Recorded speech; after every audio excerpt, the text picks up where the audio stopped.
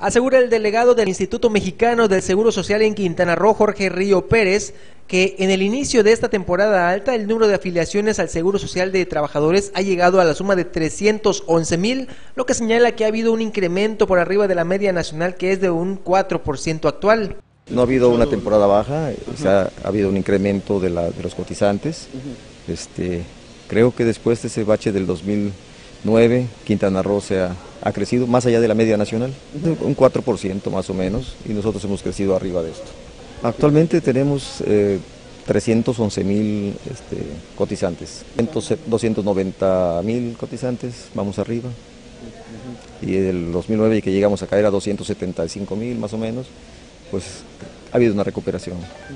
Sin embargo, este número significativo de nuevos afiliados al Seguro Social tendrá que contar con servicios de calidad porque ya se elaboró la petición para una unidad en medicina familiar para Chetumal y otra en el municipio de Tulum, esperando la autorización de nivel central.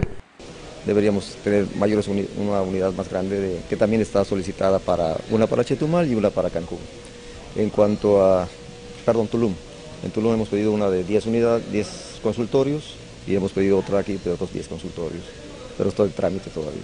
En cuanto a la capacidad hospitalaria, estamos todavía, somos la delegación con mayor capacidad instalada a nivel nacional, estamos casi dentro de los parámetros internacionales. Jorge Río Pérez dijo que estos números comparados con los del 2009 han demostrado que se ha recuperado el Estado después de llegar a los 275 mil afiliados en ese año después de algunas situaciones adversas. Para Notivisión Canal 10, Juan Pablo Hernández.